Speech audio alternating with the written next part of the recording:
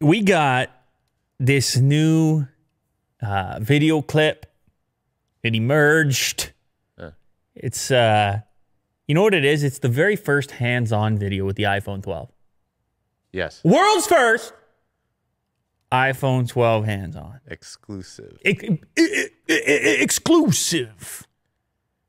Ch-ch-ch. And uh, this is a very big deal. All right, you're not going to want to miss it. Uh huh. One of the best hands-on videos I've ever seen in my entire life. It was on uh, Good Morning America.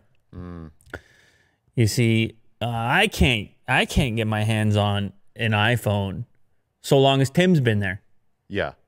At least not before it's available to the public. Uh huh. because they know better than that. They know you got to get it on Good Morning America. You got to reach the masses. Yes. You got to tell people there's an iPhone with magnets that exists in the world. No disrespect, Good Morning America. I mean, they got to cover a lot of stuff. Yeah. No disrespect. Yeah. They got to cover here's what happened in it, you know, here's what's going on in the country. And then they got to say, and there's a new iPhone. They cover a, a wide general audience. But this, l- let's also not uh, get it twisted. Yes. Apple knows what they're doing here. I, I, Nobody has a hands-on video, and then they do their very first hands-on with Good Morning America, who they know there's. I mean, there's not going to be. It's not a in in depth kind of a thing. It's No. gonna it's gonna be very superficial. Very. The whole segment is five minutes, and half of it is the people on the one side asking questions and laughing, and then the other person only gets the person who has the hands-on with the phone uh, is only responding half of that time. So it's like a three minute thing. But those are the phones. She's got them. She's got the phones. Good Morning America. She had the two blue ones. She's got the. Oh, those are some. Those are some screen grabs. You're killing the Okay, screen me, grabs uh, there. Let me go to this one here. You Oh, okay? yeah, she has a magnet. Yep. So she got the magnets. She got the regular iPhone 12, and she has the iPhone 12 Pro as well, I believe, or is it the Pro Max? It's uh, she's got two phones there that she shows off. I mean, you barely see the phones. It's mostly just her talking. They're like, "Is the camera any good? Is it really that much better?" And then and then they they ask about the magnets and everything else. But it is, I guess, it counts. It is a hands-on video. There are hands, and the hands are on the iPhone. There it is. And it's the two different blue there. colors as well. You have the the really blue. She said azure blue is Mm-hmm. what she called it on the on the iPhone 12 regular. And then you had the Pacific blue, which is more my style of blue, Yeah. which was on the uh, on the Pro model because that's an exclusive color. And then they had a representative from Apple also on the on the broadcast. Uh, you know what's funny? I watched this clip, Will, and immediately I thought to myself, "Oh, that's how they're going to sell iPhones this holiday season. The magnet. The very first thing she opened with 5G came down the road, everything else came down the road. Cameras came down the road. But she opens with, "Yeah, it's got a flashy magnet. Check out my wallet." And mm-hmm. everybody goes, "Woohoo!" Yeah.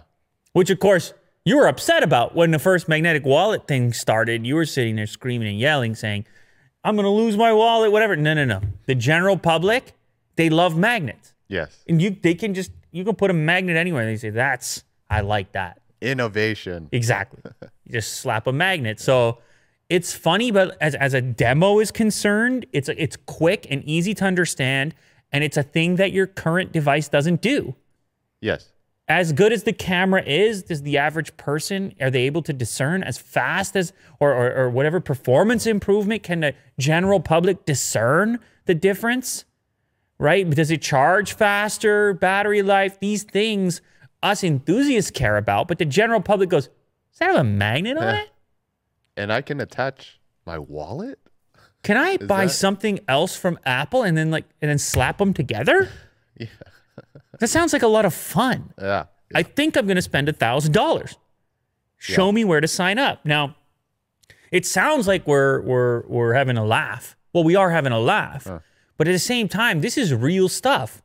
You have to, as a business, uh, creating these smartphones, you got to come out here and say, "We need something.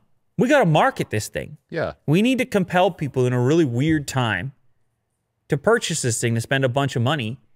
We need to have simple messages around what's new and different. And you know they're gonna have that flashy commercial with everything slapping together. Cha cha cha cha cha cha cha cha cha cha. You know how they do it, man. Yeah. It's a cha cha. The sound and everything. And it gets exactly. It makes a real quick case for people to say, you know what, the time is now. I'll get all the bonus. I'll get the A14. I'll get the 5G. But really, I'm gonna slap these things together, Mm-hmm. and I'm gonna get a real kick out of it. So, anyway, shout out Good Morning America. Congrats on the exclusive hands-on. Uh, just so you know, Tim, I'm still available. You want to go give hands-on number two? You just hit me up. Willie do it's will at lewlater.com. It's we're always available. Oh yeah, for sure. Twenty four seven. But I We're understand. You, Tim. I understand the Good Morning America choice. Uh, you got you got to reach the general public, and general public isn't here on Lew Later yet. But this is the next Good Morning America right here. Yeah. We're working on it every day. We got a sponsor. You see, we're working on it. We got a sponsor. Okay. Today's sponsor is ExpressVPN. Uh, this is a way to protect yourself online. This is a way to open up access to content which is region locked. You can't reach it. All you do is you pop on this application, ExpressVPN. You click a couple buttons, and and you're behind the VPN. You know, Will, you're sitting there at home. You're browsing. You're browsing the web. Guy like you. You understand this? I do that a lot. Yeah, you might do that. And I don't know, you maybe have Rogers, maybe you have Bell. Uh, you know, may, wherever you are in the world, you have your carrier for your home connection or your mobile connection. And uh, you know, if they really want to wanted to, they see exactly what you're up to. They do? Yeah, they do. Oh no. Exactly. They see what you're up to. They love it. In fact, Oh, they have boy. little parties to get the popcorn out. They say, let's check out, Oh, let's see what Willie Doo's been up to. And they see all the weirdness. They see all those weird videos you watch. Yeah. Yes, they do. And uh, you, you, all you got to do, you got to remember to pop on your ExpressVPN. Look at that, the number one trusted VPN, and your on- online activity at that point, they can't witness it anymore. Oh good. Not that, not that group. It's uh, they create a secure encrypted tunnel between your device and the internet, so your online activity can't be seen by anyone. And then, of course, there's the piece I like. If you got to connect to an open uh, Wi-Fi network, you know, you, you may be in a public Wi-Fi network. You can you can use the VPN in those circumstances, or you can get access to the content as I mentioned. So Netflix in a different region, uh, BBC. If you're not in the UK, that BBC, I'm telling you, I, I've messed with it. Very restrictive because that's a public broadcast. They do some good content though, mm-hmm. and then you want to access it elsewhere. No, thank you. Mm. You pop on the UK VPN, bingo. Prime Video, YouTube, ESPN, HBO, whatever it is, it may be have region issues. The VPN unlocks that for you as well. It you it works on all devices, is phones, laptops. You can even install it on your router, so everything goes through it if you like. And the whole thing happens fast. A, a ton of different locations to choose from. We use a VPN. You should use a VPN, and you get a deal right now. You get three months free by heading over to expressvpn.com slash Lew Later. That is E X P R E S S VPN. Hmm. You see that I can spell as well. Dot com slash Lew Later. Don't forget the Lew Later part because then they know we sent you. Then you get the deal for the three months. Then you support this show and you put yourself behind the VPN protection when you're doing what Willie Do does when he's home. God knows what he's up to. Mm-hmm. So thank you, ExpressVPN. ExpressVPN.com slash Lew Later, three months free. All right, iPhone. We got more iPhone stuff because it's iPhone time. It's the iPhone time of year. Mm. It's a whole, it's its own holiday. Yeah. You know, you have all the other holidays, depending where you are in the world. iPhone gets, it gets like two weeks. It's like a two week holiday Uh-huh. where it's just all the tech news. You can't help it. It gets so much attention. It's Yeah. it's it, it affects the entire marketplace. I was looking, man. I'm looking at the analytics on iPhone related content Yeah. that we posted. It's global. I'll tell you what, Will. Yeah. It's not one region. It's not two regions. It's global. People want to know what Apple's up to, even if they don't want to buy the Apple product. They want to know what they're up to. And then once they're released, that's another It's a whole Cycle. nother. It's another holiday. Yeah. I mean, they just they just do it big. They do it big. You saw the presentation. They do Mm-hmm. it big. Anyway, iPhone 12. It's been a lot of noise about nothing being included in the box. Apple here to save the world. Apple here to ship you a slimmer box with nothing in it. No, no charge brick, no earbuds. We are gonna. You still have to buy the new phone that you don't need. There's a lot of reaching there. I'm I'm re, I'm reaching. This is uh, body language. Yeah. We're gonna save the world by you buying a phone that you don't need. But we promise we're gonna waste less than we did last time we convinced you to do the Yeah. same. It's very complex. It's very It's complex. simple in their minds. It's very complex because you're marketing me a thing that you had to manufacture, pulling components from the earth, sucking them out of the earth, and then I'm supposed to turn my labor into the purchase of said thing, which for sure wasn't free for anybody. Mm -hmm. But then I have the satisfaction of knowing I saved the planet. Well, that seems like a that seems like a heck of a deal. Yeah. I want that deal.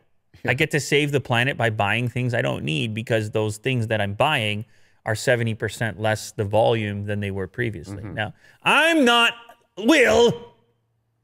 Give me a break. You know, I'm just a guy talking, but I understand it's it's people on both sides. I see people on Twitter saying, uh, you know, it's like having a meal with no chopsticks. Mm. That's what I saw on Twitter. And it's a point to it. Yeah. There is a point there that it's kind of like, what is the user experience around the whole thing? Does it feel like the manufacturer went over and above? Did you have a luxurious experience or are you opening? Is it because there will be people, for sure, there will be people that have not accounted for this. Mm-hmm. And there will be people. And then the other piece of it is how many people are just going to buy the accessory charger anyways? And then it's all the extra packaging there. Mm-hmm. Now you have a second item. Yeah. Now you need a bigger cardboard box. Now it's twice the amount of printing for whatever logo they put on the thing. So there's a lot of ways to slice this one. You can slice this one a lot of different ways, Yes. Uh, but it's complex. It's a complex pitch. I swear to you, it's not simple. It's not a one to one. It's not just, oh, Apple saved the planet. No, it's not that simple. Mm-hmm. Because their whole mission is to persuade you to buy a thing that was extracted from the planet. Yep. Well, maybe this is like a trend. You you know that other manufacturers are gonna do the same thing, right? Yeah, they're all gonna do it. Look, I don't care. I got power bricks everywhere. You know, and and, and I, I'm sure there are people that are in that same position. They got power bricks everywhere. But I have to speak on behalf of the people who don't. And they didn't go with the universal standard. They didn't go with Type C. It's still Lightning. And now people need a very specific Lightning to Type C. A- And they need a very specific, and a lot of them are just going to buy the generic Apple branded power adapter. So let's be honest about that too. Mm-hmm. That A- Apple's going to get into the line item. Let's just admit it. It's true. Mm-hmm. You know, both things can be true. Yes. Anyway, I apologize. I went a little too deep on that. The point, the whole point I was trying to make here is that in France, the iPhone 12 will actually come with earpods inside the box. Everywhere else, no earpods. France, earpods. Interesting. So they would have to change the packaging? That's right. All for France, eh? Yeah. So in France, they're real worried about radiation. I know Jack worries about radiation too. He says, "What am I doing? Am I dying?" I say, "Absolutely, you're dying." And and then he kind of there's a frown and he shrugs, and he asks me about 5G. He's convinced 5G is coming to get him. 5G is the boogeyman, and I tell him, "Man, you're holding that phone all day long anyway." Yeah. whatever you got there. Well, in France, they're real worried about radiation to the point where they demand that a smartphone manufacturer would ship their device with a reliable headset so people wouldn't have to hold the phone to their face. So you have they at least have an option to limit face exposure to the smartphone. Pretty uh, pretty interesting thing here. French law now requires smartphones be bundled with hands-free kits or a headset in order to protect children 14 and younger from electromagnetic radiation. The government is not convinced that there are no long-term health problems associated with this. in France. Now, the other thing they're doing in France is they're not happy about the 5G like Jack. They're trying to de- delay the deployment of 5G over health concerns and landscape blight. Blight? I don't know. Maybe it'll affect the maybe the appearance. Um, I don't know. I don't know. So they're a bit apprehensive about the whole thing, and, and and the funny thing here is that Apple has no choice in the matter.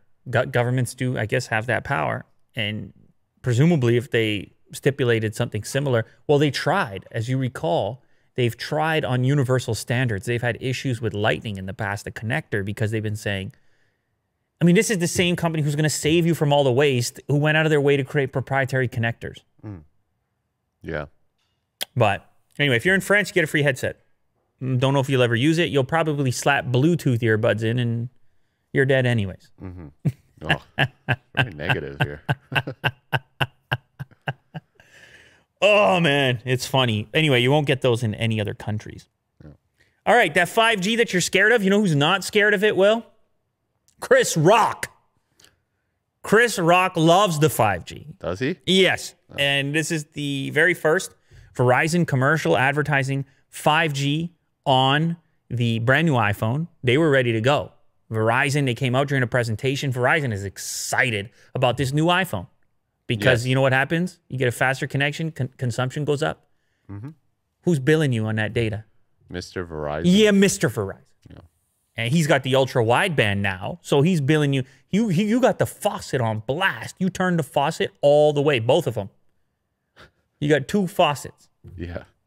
You turn them all the way on. The water is flowing, and he's collecting. Mr. Verizon. Anyway, so as part of this commercial, of course, the the Apple people they go in and uh, carve out certain frames, and they were able to discover the the way that Verizon is going going to identify true, real 5G on your iPhone. So you'll know if you're in a market if you're really experiencing the full 5G thing. And the way it's going to be identified is shown off in the image up at, up at the top there. It will it will say 5G, and then you'll have stacked letters U above a W to represent ultra wideband, hmm. real 5G. And of course, or you can just watch the video with Chris Rock, in which case he'll tell you 5G just got real. And Yeah, that's his show way this. of saying there's a difference between Verizon and everybody else. I'm Chris Rock. Oh, it's not about me. I get it. Yeah. No, no, no. Zoom in on it. The new iPhone. Oh, you're talking about copyright? Yeah, cut it, kill it. Anyway, he he goes over gaming, uh, watching the NFL on 19 different streams, and downloading an entire album in like two seconds. And he does it in the Chris Chris Rock kind of way. And of course, he cashes a check on this. So shout out to Chris Rock. It also, I don't know where they filmed this. Is this his place? He has a mini football field, which is kind of interesting. I don't know if it's his place. Or they set it up.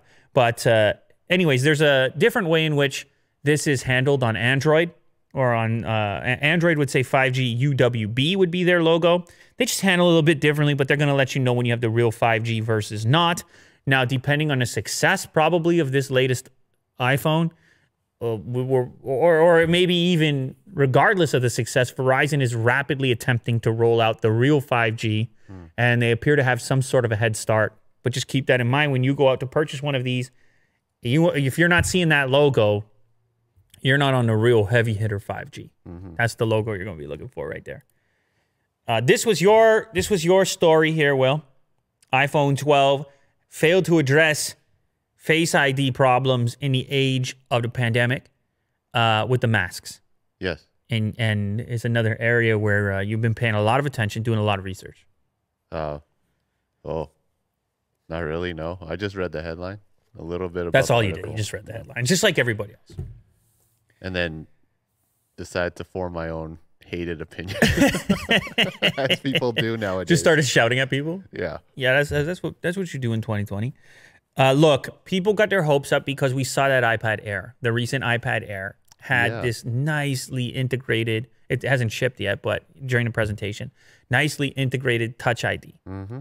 And everyone said Touch ID's coming back, awesome, because Face ID has been a wreck with the masks now, Yeah, and they could do it on the button. It's perfect. and they can do it on the button, perfect. So, uh, people got their hopes up. And anytime you get your hopes up, Uh, you you better get it slashed.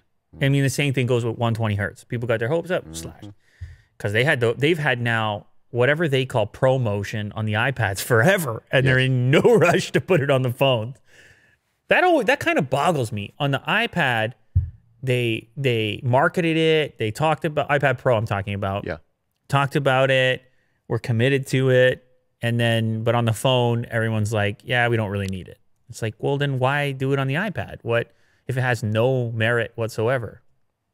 Anyway, so people got their hopes up. But here's the thing. And of course, I read through the article over here, and they're not wrong, by the way. It would have been nice to have, even just have both Face ID and uh, in the power switch. Um, however, the product cycle on a, on an iPhone is pretty long. I mean, it could be 18 months. They basically go to work. They're already working on the next one right now. And so certain things may have been set in stone where just the design of the thing, they may have been lacking space for those components. And by the time the pandemic hit and they started to have to shift around their focus or start thinking about Touch ID, it wasn't enough time to get it integrated into the mm-hmm. whatever other work they had already done. That's what I assume. I don't think it's the death of Touch ID on the iPhone just because we didn't see it here. I think the future is touch because of this whole situation, which is going to be with us for a while with the masks. Mm-hmm. So, I mean, I look at the new Pixel device sitting right here, the Pixel 5, and I'm using the rear fingerprint scanner, and they just ditched face altogether. There's no face unlock in this, and they had bet so hard on it mm. with the previous gen. Mm-hmm. They had the heavy handed, they even had a, the radar in there Yeah. The Soli chip. they were so into it and then they're like you know what touch is better and given the current situation the current climate as some like to say it's certainly feeling like touch is the way to go. And definitely if you can have both that's the ideal implementation. So i think probably next gen iphone. Right. we're going to get the touch inside of the power switch and it's going to be great. And people are going to love it. So it's only a matter of time. It's a little bit uh, of a failure at the moment but it's only a matter of time. Now the next one apparently not a failure at all willie do? Getting called out by mashable Really? yeah they called you out by name Oh. in the article if you do if you do a control f on the article you search willie do they called you out by name Oh no. I love Mashable. Don't do this to me. Well, Will had all the problems and apprehension around the MagSafe wallet and his credit cards. And he still can lose them, but apparently they are not going to damage your uh, precious cards, and your your mag strips on your on your precious cards. Uh, we have some news here that they are safe for both types of magnetic uh, cards, whether it is low coerc- coercivity or high coercivity. High co, low co. Yeah, I, mean, I. I never even read these terms. I never saw these terms prior to this article, but I'll tell you the difference right now. You have the cards in your wallet, which are your credit cards and things like this. And then you have the cards in your wallet you might have temporarily, like to unlock the hotel room. Mm. You know how those ones suck all the time? Mm-hmm. Loco. Those are loco. They are loco. Those those are loco. Yeah. And and and that's because I guess they're reprogrammable all the time, whatever else. Um and they really don't have to be that robust because if you need to get a new one, you just go back to the lobby. Mm-hmm. You know how that works. Yep. Uh, anyway, they tested it against both, and here's the quote: "The leather wallet is shielded, so it's safe for credit cards. The shield protects both low coercivity, high coercivity cards. Uh, a fancy way of saying resistant to being demagnetized. Um, so basically, they're saying you're safe. I don't know. You obviously want to test it further, Will, because you have your apprehensions, but they have put some type of shield in there. I believe it's uh, would it be an R, uh, kind of like an RFID, some kind of a shield, shielding material that's not going to allow that magnet to transfer its nasty juice to your cards, which you wouldn't want to have happen. Mm-hmm. Now, the question you have of the magnet or the wallet falling off is another thing we got to test coming out the Yes. pocket day in and day out. But as we spoke about in the past, neodymium. Is that the way you pronounce that? Neodymium? Anyway, powerful magnets. Yes. So you you'll probably be okay. And it's just it's amazing how this whole thing is shaping up. I'm sitting here talking about magnets even more. It's amazing how this whole thing's shaping up. Mm-hmm. It's perfect for Apple. Yeah. They're gonna sell, you know, what? How many iPhones? They're going to sell millions of iPhones in five minutes. When, when as soon as the thing pre-order goes on, they sell millions of iPhones, and it's the hype is going to be around things attaching to it with magnets. Yes. I mean, it's just perfect, isn't it? Mhm. I mean, because magnets don't cost thousands of dollars, Mhm. but it's just funny what works. Yes. Uh, speaking of, of of purchasing that next iPhone, apparently forty percent of Americans plan to reduce cell phone costs, citing the coronavirus. Okay, so so it's a little sensitive out there. Let me give you some figures here. Eighty percent of Americans say they want to spend less on their next phone, according to a national representative survey conducted by Wallet Wallet Hub. Thirty-six percent say they are already looking to reduce the cost of their current one. I suppose this refers to their their mobile plan as well. Uh, let me keep going. The unemployment rate is 7.9% in the US, total credit card debt nearly 1 trillion. So this is the type of stuff we're talking about with, with the smartphone pricing and cost sensitivity, the value play that many manufacturers are taking going going with lower starting prices. Uh, 63 million Americans have filed for government unemployment insurance since the lockdown began mid-March. 63 million Americans. You got like 350. That's a lot. That's a high percentage Yeah. going for the unemployment. So a lot of people are still not working, and you're asking them to, to spend a grand on a phone. It's a tough proposition at the moment. Of course, Apple always has a way, don't they? Magnets. Magnets will overcome unemployment. Yes. No, but you know what will? what? Have you see, ever seen them pushing payment plans as hard as they are right now? They got payment plans on the accessories. Mm. They the wallet we were just talking about. You can finance it. Yeah, 70 cents a month. I don't know if that's actually it, but I'm telling you right now, you can finance everything on Apple's site. They're like, we have a response to, to your debt, more debt, $4.91 a month. Canadian. Is it? Yeah, I think this is. Are, I don't think, I think you're on the Oh, US. this is US? Oh, okay. I think you're on the US site right now. It- like for the 59, go to a cheaper case because there's cheaper ones than 59. Go to, oh, there aren't cheap ones. Go to the MagSafe charger. It's 39. That's $3.25 a month. Man, I never thought I would see Apple doing that. Mm-hmm. It's kind of crazy. But they're also trying to sell you the Apple card at the same moment Right. which is right underneath there where it's telling you to buy it. Can you finance the $49 Beats Flex headphones? You can't. $8. They'll finance everything right now. So this I believe this is going to going to act as a uh, what would you say? A kind of uh, co- coercive element to people who are a little cash cash strapped at the moment Yes. they could just say, "Well, it's look at that, honey. It's only three bucks a month." Yeah. And she's like, "Yeah, you know what? Get yourself a MagSafe charger." So cheap.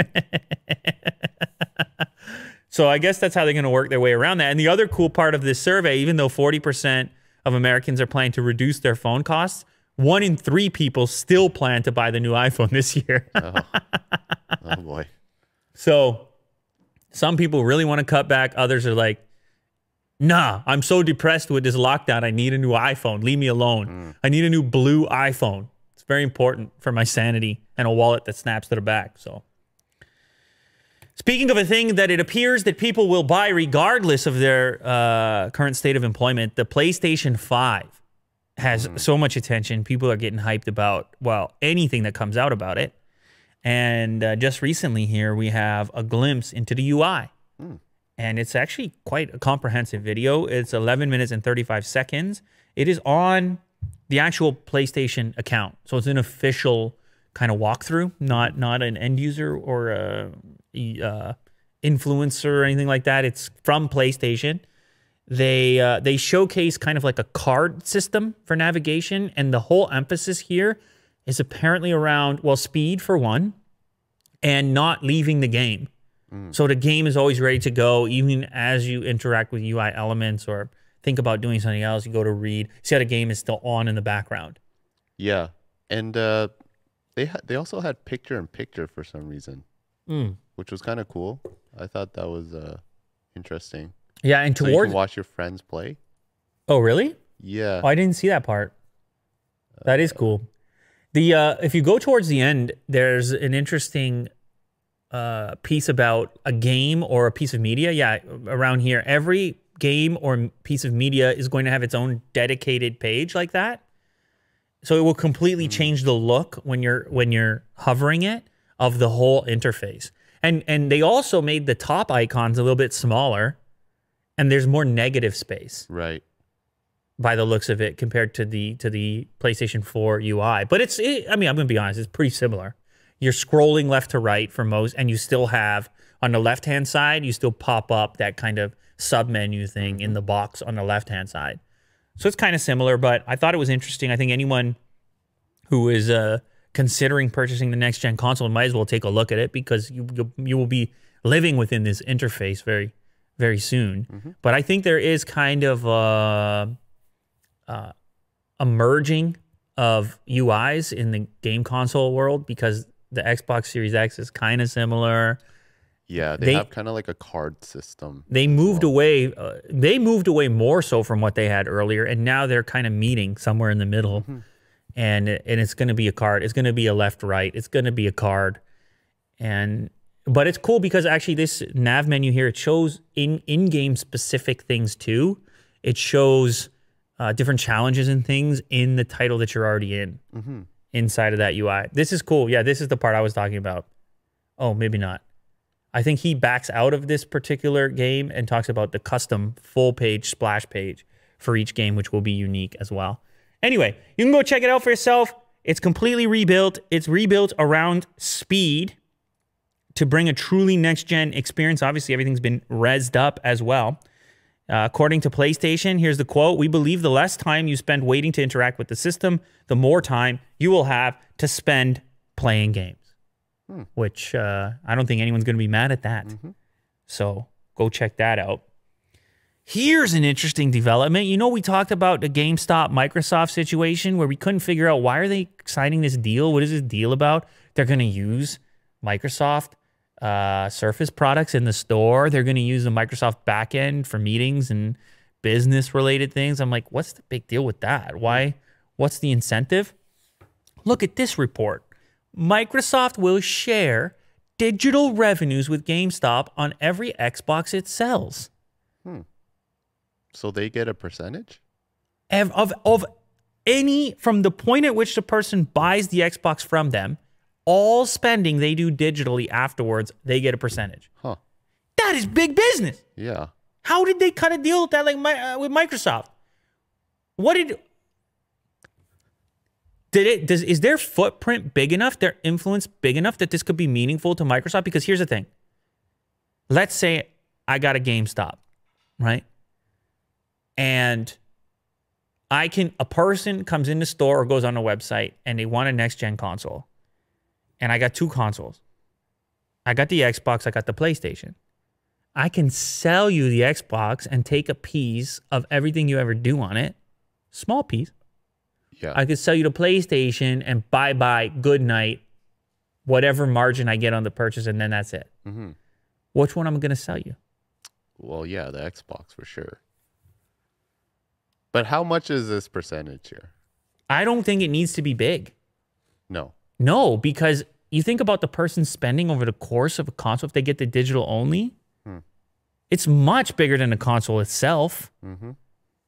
So, anyway, like this is not to say that I know that there's no similar deal with Sony or something like that. No, um, I'm, I'm not sure how those relationships exist, but GameStop is one of these places where it is the console battleground where you can buy either. It's not the company's own website. Mm-hmm. This is the place where you could get talked into one over the other. And so maybe Microsoft said, look, we don't have to do this. We want people to buy di- direct. But if they find themselves in a GameStop, we want to make sure that the games that GameStop has more incentive to sell our program than theirs. That's the only way I can imagine there's enough leverage on a GameStop side to cut a deal like this. Yeah.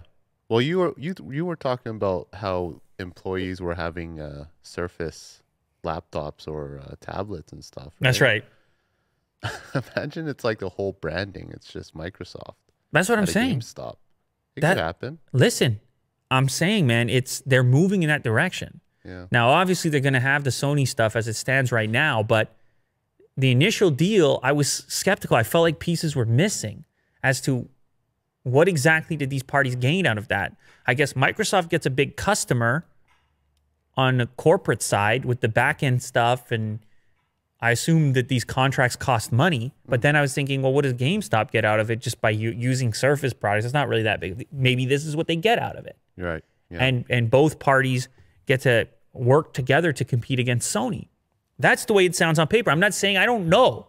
Well, GameStop's been having all kinds of difficulties. This could be a nice little boost for them. Mm-hmm. A nice little boost for them, and it could be one of the many nodes in the in the wild battlefield that these different consoles have to go out there and, and battle in. Mm-hmm. And it's kind of interesting to me. But again, there's probably nothing stopping Sony from cutting a similar deal with a different retailer, right. right? Best Buy, let's say. Best Buy. Yeah. Yeah. So I'm not sure if they will or won't, but it's interesting. Mm-hmm. OnePlus has ditched Facebook bloatware on the 8T and future phones. They got backlash. I don't know if you remember, we covered this. OnePlus 8, OnePlus 8 Pro, they came with the Facebook stuff pre installed. It mm. was a deal that OnePlus made with Facebook for the pre install, and I'm sure they got paid for it handsomely. Mm-hmm. You know, Facebook, they, they love an install here and there. Mm-hmm. They, they love a user here and there. Yes. And so I guess they got a few with those devices, but then people they went on a, you know, OnePlus has a has a pretty robust communication with their users and their and their uh, community, and they were hearing from the community, no, thank you, no, thank you to the bloat. And in fact, it was one of the things with OnePlus as far as having a really quick and and simple user experience, like removing bloat removing animations. It's kind of part of the DNA. So it felt weird to have this extra stuff that kind of wasn't part of the DNA of the company. Yeah. Uh, I'm using the Pixel right now, right? And Vanilla Android. it's a vanilla experience. yes. Uh, if there's a big Facebook logo, I'd be like, No. Google can put whatever they want. Yeah. Is their OS. But if there's a big Facebook logo, be- that's me scratching my temple. By the way. So anyway, they they backtracked, and I like that. Well, I don't mind the backtrack. I'm not the guy that sits there and goes, "Told you so." I don't think it's any good to that.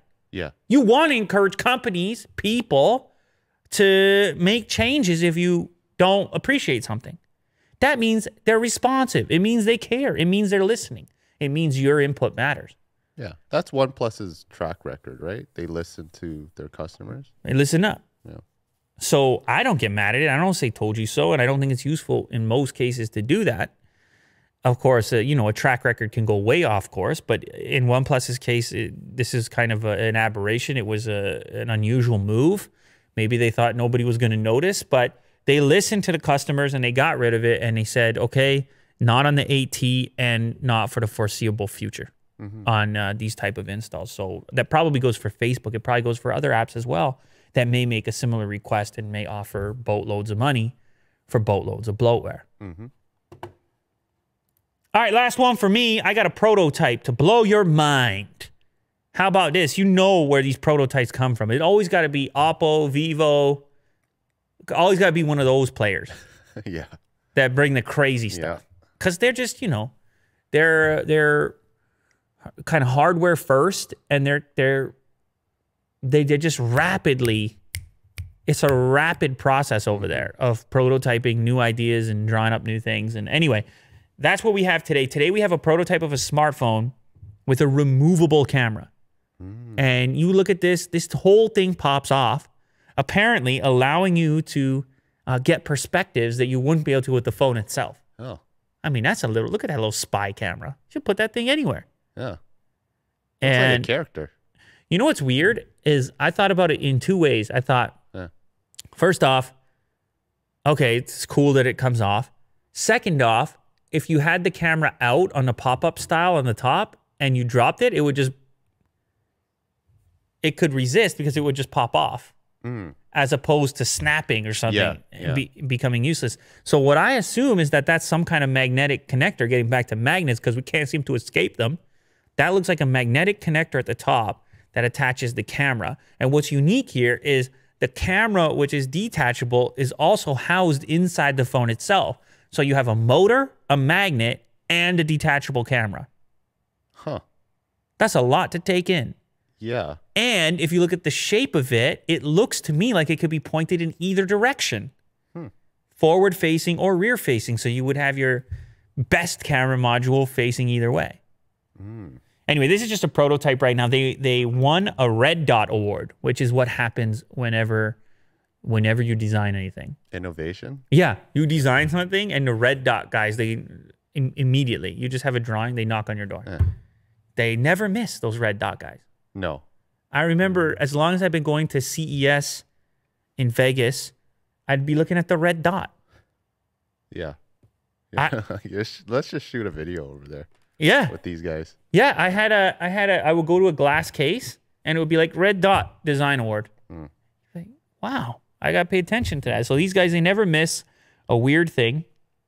Uh it equips smartphones with a detachable front camera and uh where, what, what did they say here? The placement of the camera above the top of the phone was done to increase the amount of space someone would have to properly grip the phone without compromising visual stability and uh, apparently it's gonna have it's gonna connect similar to an S Pen. So I actually don't know if it would be motorized or if it would just be one of those click click stop things where you would click it in Yeah. and it would. I don't know how they would it kind of be terrifying if it was just a click. Yeah. Yeah. A little bit terrifying. Uh, by separating the camera from the phone, the idea is that the design would enhance user friendly shooting features that are normally constrained within the design of a mobile device. I don't know. Maybe you place that thing all over the place, you get super creative. You might get yourself your own red dot Mm. just from using the camera. Mm-hmm. I don't think that's how red dot works, though. No.